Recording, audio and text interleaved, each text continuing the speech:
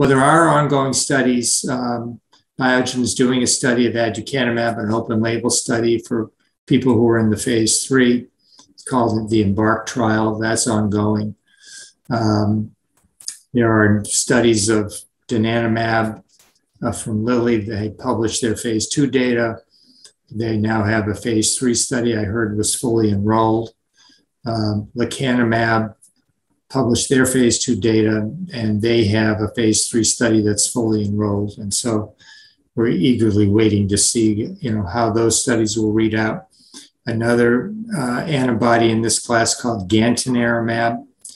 It's given subcutaneously, and uh, that study I think is fully enrolled as well. And so the graduate study, and we're waiting for that study, that phase three, to read out with that antibody.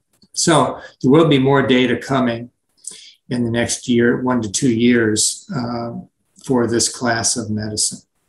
Biogen has not yet um, announced they are required to do an additional study. The FDA requires them to do an additional study of aducanumab as part of the accelerated approval, and they have not yet announced what that study will be.